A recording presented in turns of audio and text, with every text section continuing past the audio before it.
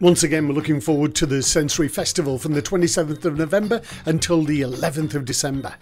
And we've got some amazing speakers like Fintan O'Regan, the ADHD specialist. You can't, and you can't say to someone who's bored, "Be more interested."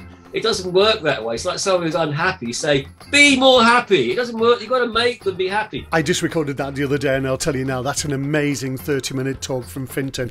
And we've got this team again. Hi, I'm Helen. And I'm Julie. And, we're from Simply Sensory. And this time, Simply Sensory are taking us outside with some spooky goings on and that is a fantastic movie. We've also got karaoke, Carrie Leonard, uh, with the improvised approach. They're going to teach you how to play guitar properly, just wonderfully well, and some timely advice from Moki. You always have something in your pocket ready to make yourself your playful self.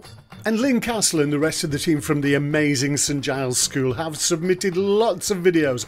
There's tons more to come and we'll keep you updated throughout the week what's going on on the Sensory Festival Supermarket.